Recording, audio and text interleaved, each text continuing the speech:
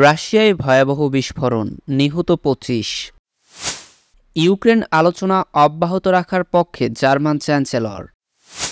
Nazi জার্মানির মতো যুদ্ধ অপরাধ করছে ইসরায়েল। রাশিয়া ও বেলারুশ সফরে চীনের প্রতিরক্ষা মন্ত্রী। শি জিনপিংয়ের সঙ্গে দেখা হচ্ছে মোদির। তালেবানকে দুই বছর ধরে একঘরে রাখা ঠিক নাকি ভুল? পদ ছাড়ার ঘোষণা দিলেন লাটভিয়ার প্রধানমন্ত্রী। পোড়া বাড়ি গাড়িতে ঢুকছে উদ্ধারকারীরা। দিনে মিলতে পারে দশ থেকে বিশটি মরদেহ। দেউলিয়া হওয়ার পথে ChatGPT company OpenAI. হিমাচলে ভূমিধসে মৃতের সংখ্যা বেড়ে পঞ্চাশ। এতক্ষণ শুনছিলেন সংবাদ শিরোনাম, এবার বিস্তারিত। রাশিয়ায় ভয়াবহ বিস্ফোরণ, নিহত পঁচিশ। রাশিয়ার দক্ষিণ অঞ্চলীয় দাগেস্তান অঞ্চলের একটি পেট্রোল স্টেশন এবং সংলগ্ন এলাকায় ভয়াবহ বিস্ফোরণের ঘটনায় প্রাণ হারিয়েছেন কমপক্ষে পঁচিশ জন।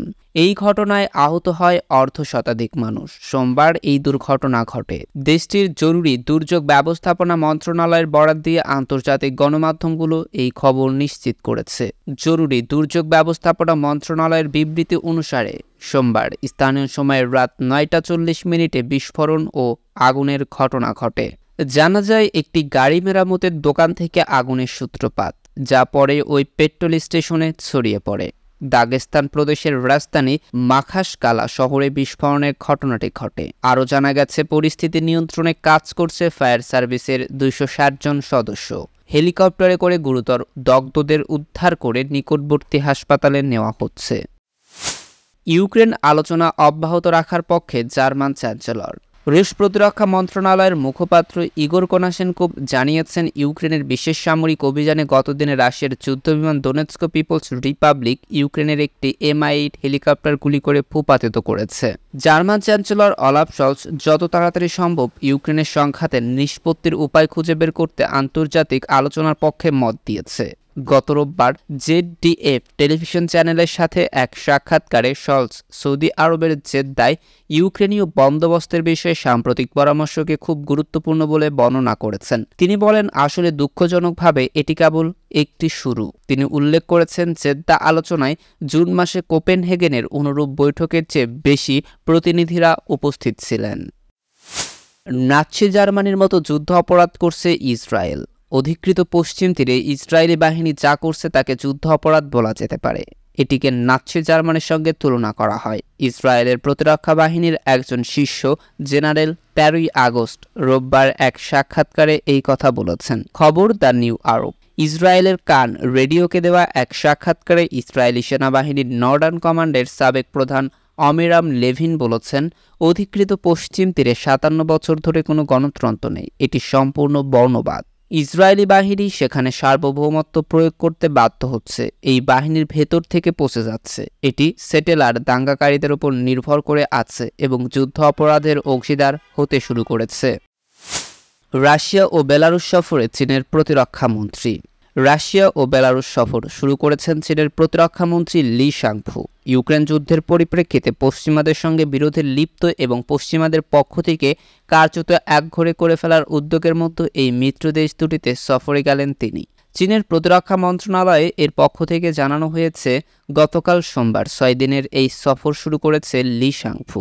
রাশিয়ার প্রতিরক্ষামন্ত্রী সের্গেই শৈগু ও বেলারুশের প্রতিরক্ষামন্ত্রী ভিক্টর কেনিনের আমন্ত্রণে আন্তর্জাতিক নিরাপত্তা বিষয়ক এগারোতম মস্কো সম্মেলনে যোগ দিতে চোদ্দ থেকে উনিশে আগস্ট রাশিয়া ও বেলারুশ সফর করছেন তিনি। মন্ত্রণালয়ের মুখপাত্র কর্নেল উকিয়ান সামাজিক যোগাযোগ মাধ্যমে পোস্ট দিয়ে জানায়, রাশিয়া সফরে আন্তর্জাতিক নিরাপত্তা বিষয়ক এগারোতম বস্ক সম্মেলনে বক্তব্য দেবেন চীনা প্রতিরক্ষামন্ত্রী শি জিনপিংয়ের সঙ্গে দেখা হচ্ছে মোদির। চীনের প্রেসিডেন্ট শি জিনপিংয়ের সঙ্গে দেখা হচ্ছে ভারতের প্রধানমন্ত্রী নরেন্দ্র মোদীর। আগামী সপ্তাহে ব্রিক্স সম্মেলনে দেখা হবে তাদের। তার আগে গতকাল পূর্ব লাদাখের সীমান্ত সমস্যা মেটাতে বৈঠক করেছেন দুই দেশের সেনা কর্মকর্তারা। বৈঠকে ভারতের পক্ষ থেকে তিন বছর আগের স্থিতি অবস্থা অবিলম্বে বহাল রাখা এবং ডেপসাং এবং ডেমচক থেকে চীনা সেনাদের পিছিয়ে যাওয়ার ওপরে জোর দেওয়া হয়েছে। আগামী সপ্তাহে দক্ষিণ আফ্রিকায় ব্রিক্স বৈঠকের পরে আগামী মাসের নয়াদিল্লিতে জি টোয়েন্টি সম্মেলন রয়েছে। দুটি বৈঠকেই উপস্থিত থাকার কথা নরেন্দ্র মোদী এবং শি জিনপিংয়ের। তালেবানকে দুই বছর ধরে একঘরে করে রাখা ঠিক নাকি ভুল? আফগানিস্তানে তালেবানের ক্ষমতা দখলের দুই বছর পূর্ণ হচ্ছে, আজ পনেরোই আগস্ট। এই পর্যন্ত কোনো দেশই তাদের আনুষ্ঠানিক স্বীকৃতি দেয়নি। এমনকি তালেবান সরকারের সঙ্গে আলোচনার টেবিলে বসা নিয়েও রয়েছে তীব্র মতবিরোধ কেউ কেউ মনে করেন আলোচনার মাধ্যমে তালেবানকে বদল করা সম্ভব হতে পারে। এর বিপরীতে অন্যদের ভাষ্য, তালেবান কখনো বদলাবে না, সুতরাং তাদের সঙ্গে আলোচনায় বসে কোনো লাভ নেই। আফগানিস্তানের নতুন শাসকদের সঙ্গে কীভাবে, কেমন আচরণ করা উচিত, কিংবা তাদের একঘরে করে রাখা নিয়ে যখন বিশ্বের বিভিন্ন দেশ দ্বিধায় ভুগছে, তখন ঘুরে ফিরেই সামনে আসছে আফগানিস্তানের নারী অধিকারের বিষয়টি। এমনকি নারীদের রূপচর্চা কেন্দ্রেও। তবে আফগানিস্তান একটি মুসলিম কান্ট্রি সেখানে আফগানিস্তানে তালেবান সরকার কীভাবে সরকার চালাবে সেটা তাদের একান্তই ব্যক্তিগত বিষয়। পশ্চিমা চোট কিংবা তার মিত্ররা তালেবানকে একঘরে করে রাখতে পারে না। এটা একটি ভুল সিদ্ধান্ত। পদ ছাড়ার ঘোষণা লাটভিয়ার প্রধানমন্ত্রীর।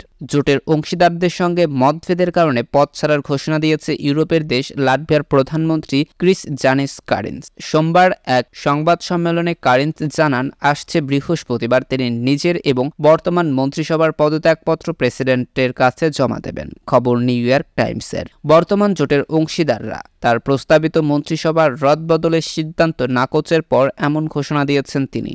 সংবাদ সম্মেলনে কারেন্স আরও জানান, বর্তমানে জোট সরকারের অংশীদার দলগুলোর মধ্যে ভাঙন দেখা দিয়েছে। এ কারণেই পদত্যাগের সিদ্ধান্ত নিতে হয়েছে তাকে।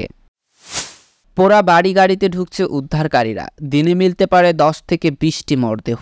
যুক্তরাষ্ট্রের হাওয়াই রাজ্যের মাউই দ্বীপে লাগা দাবানলের আগুন অনেকটা নিয়ন্ত্রণে এসেছে। সর্বগ্রাসী এই দাবানলের ধ্বংসলীলা বন্ধের পর এখন সেখানে উদ্ধার অভিযান শুরু করেছেন উদ্ধারকারীরা। তারা পুড়িয়ে যাওয়া বাড়ি ও গাড়িতে ব্যাপক তল্লাশি অভিযান চালাচ্ছে। আর হাওয়াইয়ের গভর্নর জস গ্রিন মার্কিন সংবাদ মাধ্যম সিবিএস নিউজকে সোমবার জানিয়েছে, তারা আশঙ্কা করছেন উদ্ধার অভিযান চলার সময় দিনে দশ থেকে বিশটি মরদেহ পেতে পারেন উদ্ধারকারীরা। গত মঙ্গলবার হাওয়াই মাউ ই দাবানলের সূত্রপাত হয়, যা মুহূর্তের মধ্যে পুরো দ্বীপে ছড়িয়ে পড়ে। ওই সময় প্রাণ বাঁচাতে অনেকেই সাগরে ছাপ দেন, তবে সবাই দাবানল থেকে বাঁচতে পারেননি। অনেকে নিজ ঘর বা গাড়িতে আটকা পড়ে যান। রোববার পর্যন্ত ছিয়ানব্বই জনের মরদেহ উদ্ধার সম্ভব হয়, যা নিশ্চিতভাবে আরও বাড়বে। গভর্নর জস গ্রিন জানিয়েছে, এই দাবানলে সব মিলিয়ে কত মানুষ প্রাণ হারিয়েছে সে বিষয়টি পুরোপুরি নিশ্চিত হতে তাদের দশ দিনেরও বেশি সময় লাগবে। বর্তমানে দ্বীপটিতে এক হাজার তিনশো জন মানুষ নিখোঁজ আছেন। দেউলিয়া হওয়ার পথে ChatGPT company OpenAI লাভের মুখ দেখছে না চ্যাট জিপিটির নির্মাতা ওপেন এআই শুরুতে ঝড় তুললেও ক্রমাগত কমছে তাদের গ্রাহক, ফলে মুনাফাও কমছে ফুফু করে। এই অবস্থা চলতে থাকলে দুই হাজার চব্বিশ সালেই দেউলিয়া হয়ে যেতে পারে আলোচিত এআই স্টুডিওটি। সাম্প্রতিক অ্যানালিটিক্স ইন্ডিয়া ম্যাগাজিনের এক প্রতিবেদনের বরাতে এই তথ্য জানা গেছে। প্রতিবেদনে বলা হয়েছে চ্যাট জিপিটি পরিচালনার জন্য ওপেন এআইয়ের দৈনিক খরচ হচ্ছে সাত লাখ মার্কিন ডলার, ফলে দ্রুত ফুরিয়ে যাচ্ছে তাদের অর্থ ভাণ্ডার জিপিটি থ্রি পয়েন্ট ফাইভ এবং জিপিটি ফোরকে মনিটাইজ করার চেষ্টা সত্ত্বেও এই মুহূর্তে যথেষ্ট লাভ করতে পারছে না সংস্থাটি। হিমাচলে ভূমিধসে মৃতের সংখ্যা বেড়ে পঞ্চাশ। ভারতের হিমাচল প্রদেশে প্রবল বৃষ্টিপাতের কারণে ভূমিধসে মৃতের সংখ্যা বেড়ে পঞ্চাশ জনে দাঁড়িয়েছে। এছাড়া আকস্মিক বন্যায় নিখোঁজ রয়েছেন আরও সাতজন গত দুদিনের ভারী বর্ষণ ও ভূমিধসে এই প্রাণহানি ও নিখোঁজের ঘটনা ঘটেছে, খবর এনডিটিভির। সোমবার বিষয়টি নিশ্চিত করে হিমাচল প্রদেশের মুখ্যমন্ত্রী সুখবিন্দর সিং সুখু এক্সের এক পোস্টে বলেন, মান্ডি জেলার সম্ভল পাণ্ড বন্যা ও ভূমিধসের ভয়াবহ ভিডিওগুলো আসছে। সেখানে সাতজন মানুষ আকস্মিকভাবে বন্যায় ভেসে গেছেন। এক বার্তায় তিনি আরও বলেন, এই ভয়ঙ্কর পরিস্থিতি মোকাবেলায় উদ্ধার, অনুসন্ধান ও ত্রাণ কার্যক্রম চলছে। এতক্ষণ আমাদের সাথে থাকার জন্য ধন্যবাদ। পরবর্তী সংবাদ সবার আগে পেতে আমাদের চ্যানেলটি সাবস্ক্রাইব করে পাশে থাকা বেল আইকনটিতে ক্লিক করে রাখুন।